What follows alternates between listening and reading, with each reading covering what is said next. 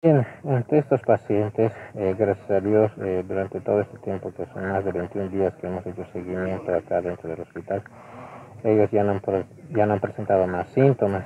Eh, clínicamente estaban asintomáticos.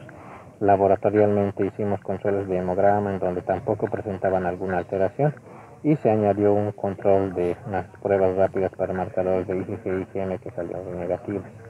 Con estos datos nosotros pudimos ya otorgar el la alta de la forma más segura, teniendo en cuenta las dificultades que existe para hacer los controles eh, del PCR tanto aquí en Rurrenabaque como también en la ciudad de La Paz.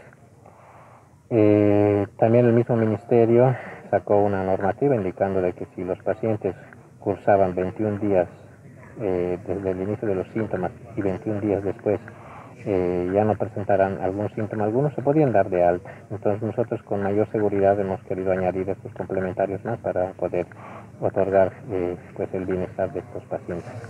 Ellos obviamente eh, en sí ya tienen anticuerpos que tal vez que si llegaran a estar en contacto con un paciente positivo les ayudaría o pues prácticamente tenían una inmunidad.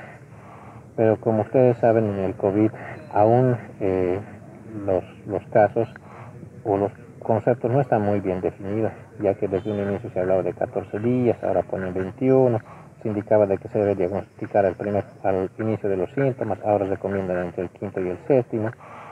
Tiene un concepto muy dinámico. Entonces también debemos hablar de las reinfecciones.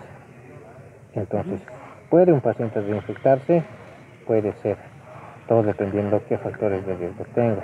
Ya, el hecho que tenga una inmunidad obviamente eh, te puede producir una reinfección, porque se ha visto en algunos datos que pacientes que han pasado por COVID, que han marcado negativos, posteriormente un tiempo han vuelto a marcar de vuelta positivas. Entonces, en este sentido, la recomendación que se da para la población es de que ellos obviamente ya están curados, no hay riesgo, pero de que ellos lo puedan volver a adquirir, porque va a haber siempre uno que tenga este sea portador, entonces la respuesta va a ser muy diferente. Cada paciente es diferente.